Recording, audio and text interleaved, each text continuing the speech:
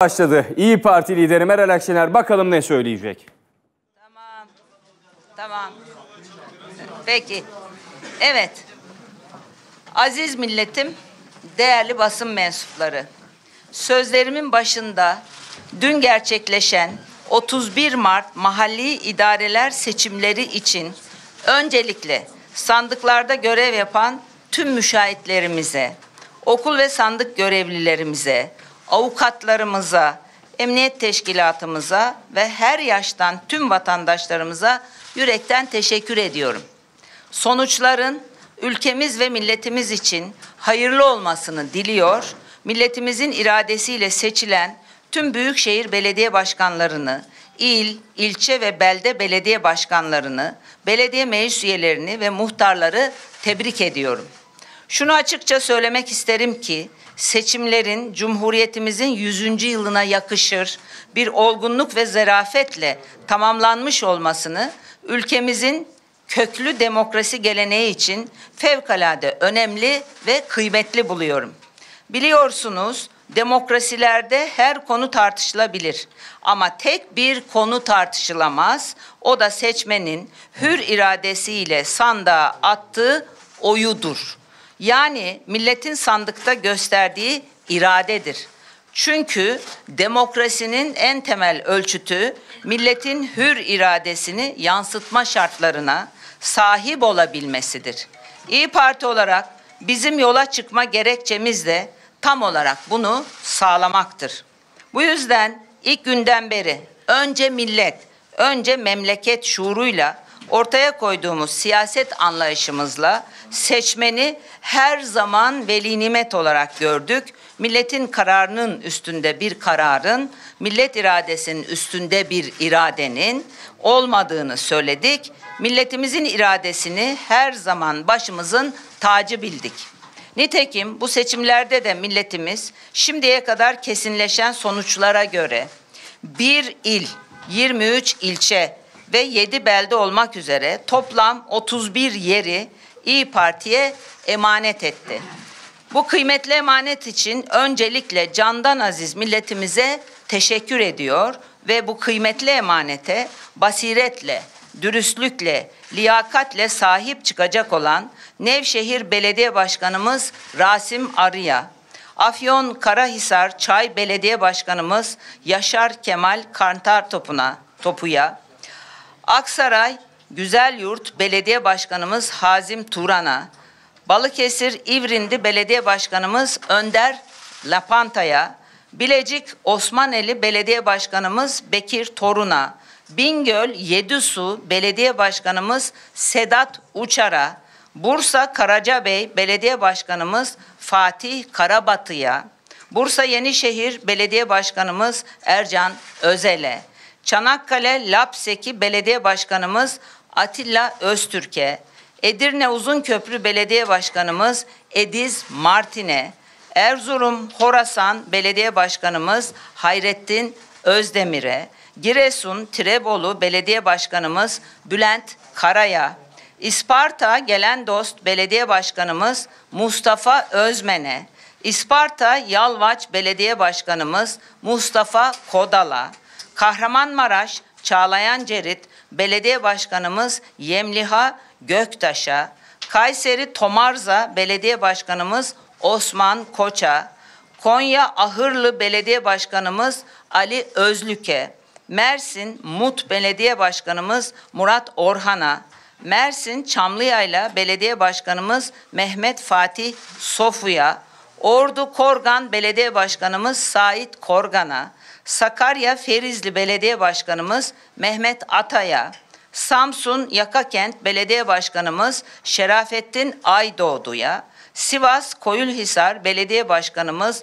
Bora Karakullukçu'ya, Trabzon Yomra Belediye Başkanımız Mustafa Bıyık'a, Aksaray Aksaray Merkez Yeşilova Belde Belediye Başkanımız Adnan Bayraktar'a, Aksaray Merkez Yeşiltepe Belde Belediye Başkanımız İsmail Akpınar'a, Afyon Karahisar Sultandağ Dereçine Belde Belediye Başkanımız Aykut Okumuş'a, Kütahya Gediz Yenikent Belde Belediye Başkanımız Cumali Öztürk'e, Muş, Merkez, Kırköy, Belde Belediye Başkanımız Seyit Ali Subaşı'ya, Şırnak, Silopi, Görümle, Belde Belediye Başkanımız Şükrü Bakış'a ve Zonguldak, Karadeniz Ereğli, Gülüç Belde Belediye Başkanımız Gökhan Mustafa Demirtaş'a tüm seçim süreci boyunca göstermiş oldukları emekleri, çabaları ve özverileri için şükranlarımı sunuyorum.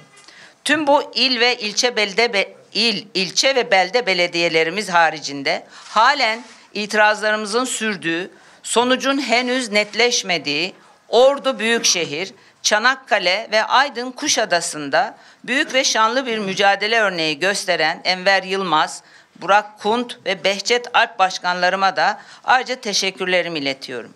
Ayrıca seçim süreci boyunca gayretle, emekleriyle partimizi Türkiye'mizin dört bir yanında hakkıyla temsil eden tüm belediye başkan adaylarımıza, sahada gece gündüz çalışan teşkilatlarımıza, kar kış sıcak demeden koşturan gençlerimize, ev ziyaretleriyle çalmadık kapı bırakmayan kadınlarımıza, maddi manevi desteklerini esirgemeyen üye ve gönüllülerimize, sizlerin huzurunda bir kez daha teşekkür ediyorum. Aynı zamanda ilçe ve e, ilçe il e, ilçe meclis üyelerimize, il genel e, meclisi adaylarımıza ayrıca en derin teşekkürlerimi e, sunuyorum. Allah her birinden razı olsun. Aziz milletim, geride bıraktığımız seçimlerle birlikte milletimizin iki yumruk arasına sıkıştırılmaktan ne kadar yorulduğunu bir kez daha görmüş olduk. 2023 yılındaki seçime göre milletimizin sandığa katılım oranındaki büyük düşüşü hiçbir siyasi görmezden gelemez. Milletimiz bu seçimlerde alışılmış kutuplaşma alanlarına, sen şucusun ben bucuyum ayrıştırmalarına ve kendi gündeminde olmayan suni kavgalara mecbur olmadığını sandığa gitmeyerek gösterdi. Emeklilerimiz bu seçimlerde 10 bin liralık maaşlarıyla sefalet içinde bir yaşama mecbur olmadığını sandığa gitmeyerek gösterdi. Öğretmenlerimiz bu seçimlerde atanamayan, atanamadan öğrencilerinde öğrencilerine hasret kalmaya mecbur olmadığını sandığa gitmeyerek gösterdi.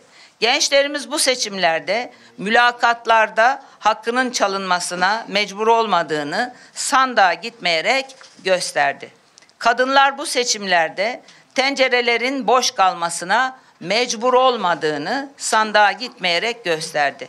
Şüphesiz ki milletimiz bu seçimlerde en esaslı mesajını da iktidara verdi. Yıllardır ekonomide yaşadığımız çöküşü engelleyemeyen basiretsizliğe artık yeter dedi. Yıllardır yanlış politikalarda ısrar eden ciddiyetsizliğe artık yeter dedi. Yıllardır hak yiyen, hakka giren, hukuku çiğneyen adaletsizliğe artık yeter dedi.